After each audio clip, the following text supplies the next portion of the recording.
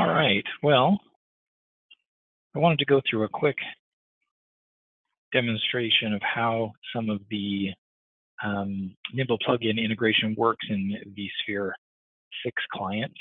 Um, and I'm going to run this demonstration from my lab. Uh, basically, I've got a, a couple um, sets of arrays grouped together in the lab, and they're all connected into um, the VMware 6 uh, vCenter environment. Um, the, as you can see here, I'm logged into um, the web client for vSphere, and I've already created some um, some data stores that are listed here under my folder. Um, so for managing existing data stores that are running on a Nimble, things are pretty straightforward. Um, you simply find your data store, and if you right-click on them, there is a context menu for Nimble storage action. And it gives me the option to edit it, delete it, clone it, make it bigger, can snapshot it. Um, the cloning process, we'll try that. So in this particular case, I say, what do we want to name it? I call this test clone.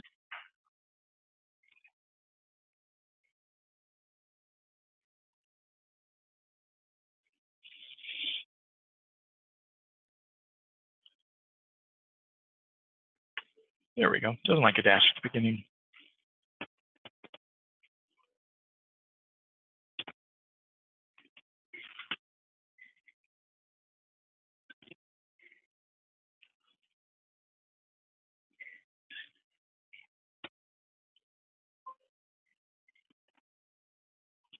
There we go.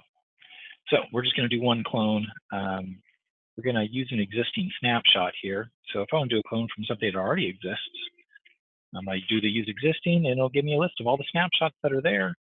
I can go back quite a ways here.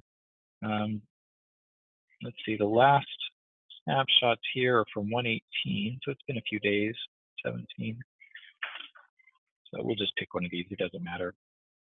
This is one of my um, weekday snapshots from 118 at 533. And once that's selected, we'll hit clone.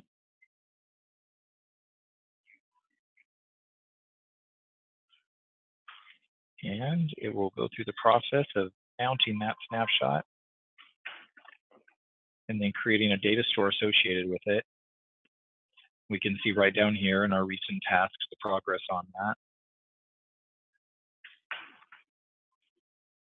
It's one of the things I do like about managing this way is that you're able to have it all logged in vCenter, which is nice from a compliance standpoint, and also nice from a troubleshooting standpoint to have a log of all the modifications and and whatnot that happen on your storage right in your the primary place where you're managing all your infrastructure.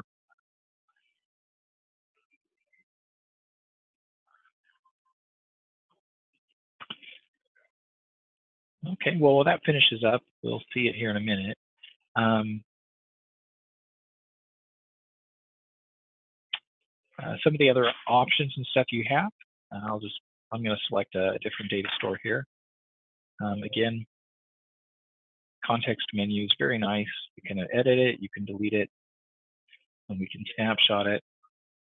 Um, from an editing standpoint, from an existing, select that. Let's go in here and then kind of show you what your options are there.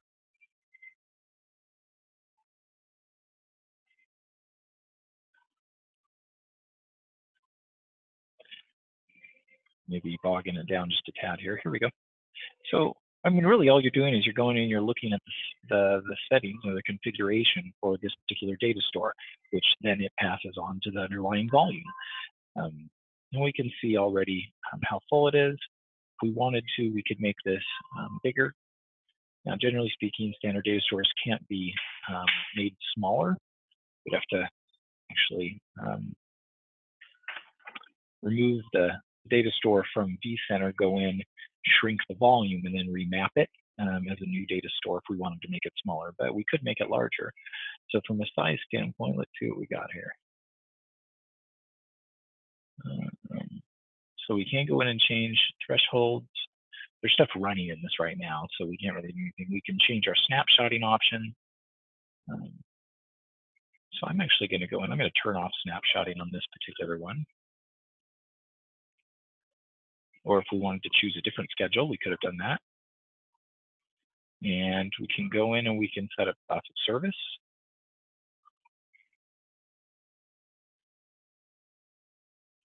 And we're going to limit this to 500 IOPS on this particular volume. And warning it's not protected, I know because I turned off snapshotting and then it's going to go through. And so now it's building a script, and then it'll apply that script to the array, um, all through the open APIs and REST um, commands and stuff that are set up within the array, scripted right here from vSphere. And we can already see right here, right, they're doing some completion. The clone is still working on itself. Um, might be hanging up a little bit. I didn't verify that that snapshot was legitimate snapshot. We'll let it do its thing though. And then we're doing a rescan on HBAs as we modified the other, um, this particular volume.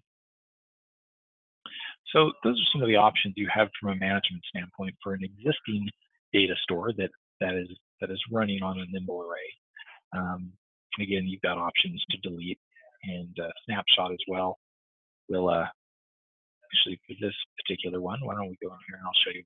If you wanted to take a snapshot of it on the volume level, um, rather than taking a snapshot and having it take up more space, right? Because um, snapshots in the nimble array or redirect on write snapshots, they take up very little space, only delta since the last one. Whereas if you took a snapshot in VMware, it would take up significantly more space than that. Um, and again, that kind of depends on what's going on there as well. But um,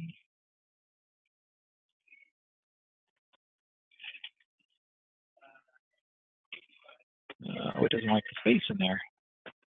Do have to follow naming conventions that Linux wants.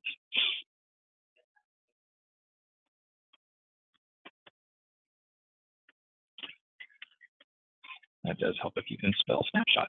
There we go. And we're going to take that snapshot. Now, granted, that's going to be a manual snapshot. It's not going to be associated with any schedule. So if I ever want to get rid of that, I'm going to have to go in and delete it. Um, all right, so let's see. Right down here, again, it's doing a rescan. That snapshot's instantaneous. There's not really nothing else going on there. Now, that's managing the stuff that's there, and those are pretty straightforward. Um, it does require that you know you have your um, snapshot configurations and volumes that already exist. But what if you don't have a volume there, or you have a new data store that doesn't already exist? How would you go about um, managing or creating that? Now that's also pretty pretty easy. So in this particular case, we'll select our site. And if we right click there, um, we have a context menu as well for Nimble Storage where we can create, we can enable iSCSI or disable iSCSI digest, or we can mount. So if there's a volume on the array, but it isn't mapped to a data store yet, that's where the mount option would come in. But we're going to walk through the process of creating a new data store.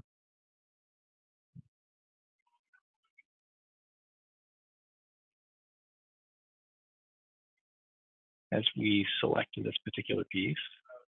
It's going to go out and it's going to look for those arrays that are con it's connected to. Now, this isn't a lab. Last time I checked this, it wasn't actually registering all of the arrays, but we'll see which ones it comes up with. It's pretty dynamic.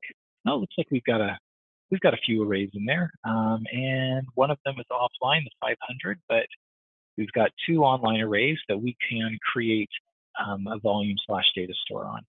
So let's go ahead and look at the one that's got the most free space. That's this guy, PLU Lab Main. Um, and it's running the a little bit older code, but that's just fine. So we're going to select that guy, and we're telling it what pool do we want to be in. And we'll hit next, give it a data store name, JH, um, test,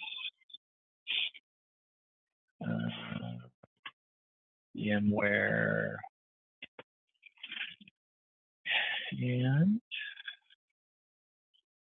and I just put this in here because it does get kind of messy, and um, I do recommend documenting everything. So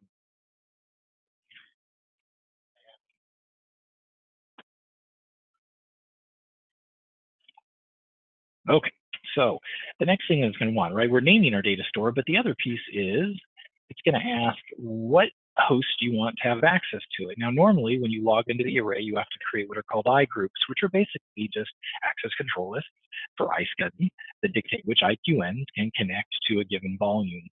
When we do this, we don't have to go look up those IQNs on the hosts or anything. We can simply select the hosts that we want to have access to the volume, and it will automatically create that I group on the array when it's scripted and it runs. In this particular case, I want all the hosts in our lab environment to be able to have access. So that way I can do storage vMotions between the different hosts. So I simply select the Nimble site. And um, also, I, this is also where we can enable encryption on a particular volume. And I'm going to go ahead and do that as well. So I'm going to enable encryption. It'll tell us it's 256-bit encryption for this particular data store for the underlying volume. And we'll hit next. Now we're going to say what size we want it to be. Um, we're going to go relatively um, small. I'm going to just do a nice 100 gig um, data store. It doesn't need to be very big, but there are multiple pools. This is two different arrays that are grouped together. Um, one is a hybrid array and one is an all flash array. We're going to put this on the hybrid array. And then we're going to choose what folder it's going to be in. Now, folders are usually just logical way of designating where volume is going to reside on the array, uh, much like VMware, right, where you're just finding a way to organize things. You can also apply settings, some settings at a folder level, like um, QoS settings and things of that nature.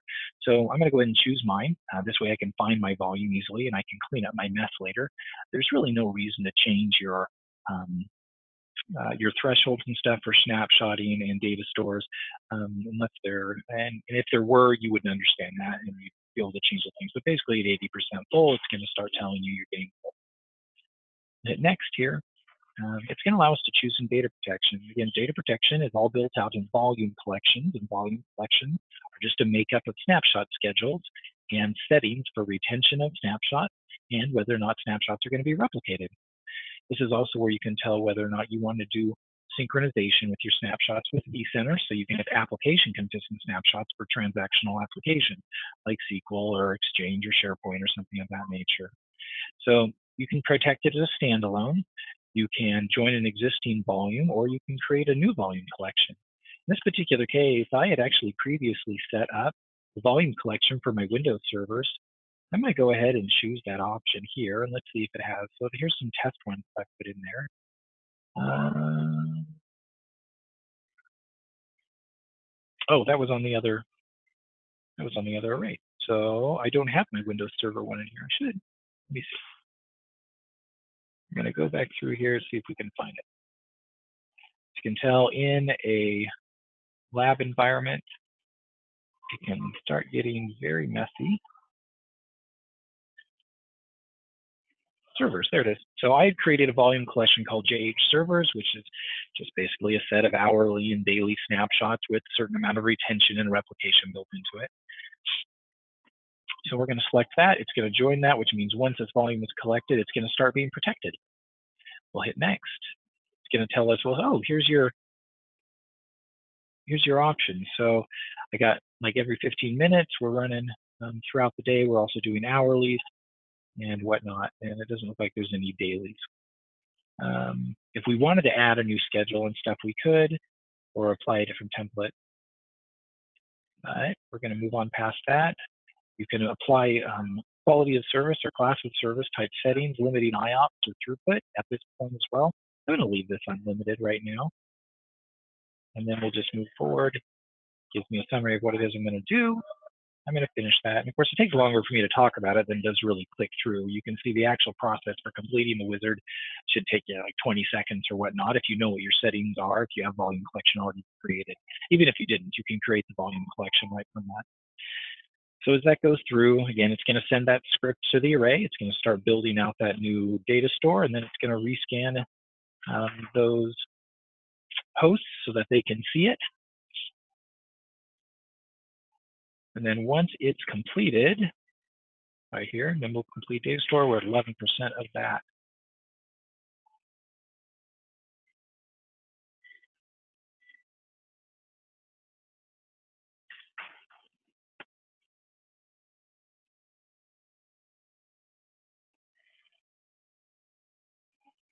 And so it looks like we are at about 100% on creating that new data store. That's about to finish up.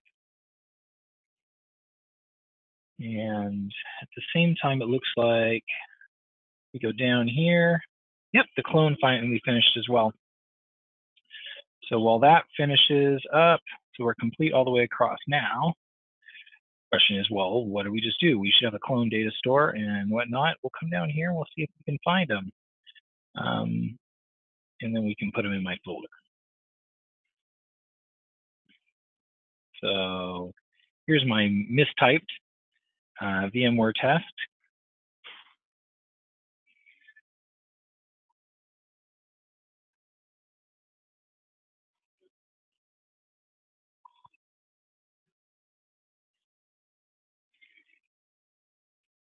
Good enough. And how do we name that new one? Is it done scanning?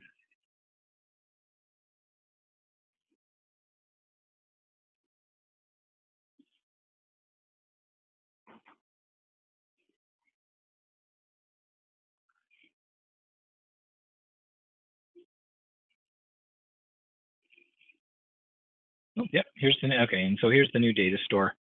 And it looks like it gave it, oh. So here's my clone, right? Because I remember I cloned the Win 2012 CS420 and then it puts a dash 01. So there's my clone it created. And here's my, my, um, my test that I just created. And in this case, we're going to move these guys and we're going to put them inside my folder just so that we've got them then. And I can clean up my mess later. It just get, it does get kind of confusing when I mistype the name though. Uh,